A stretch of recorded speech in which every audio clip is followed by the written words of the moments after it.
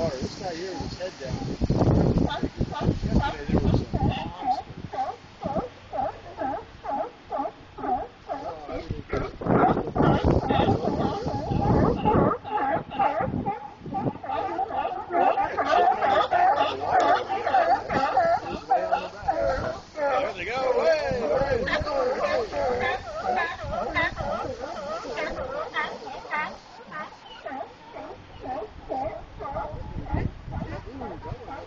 jumped out. Yeah, that was cool.